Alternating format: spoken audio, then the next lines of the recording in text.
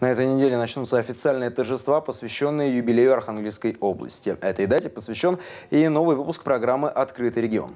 Как мы осмысливаем эту дату, с какими результатами пришли к солидному юбилею, что получилось, над чем предстоит работа и что является для Поморья самой большой ценностью. Разговор об этом с губернатором Архангельской области Игорем Орловым.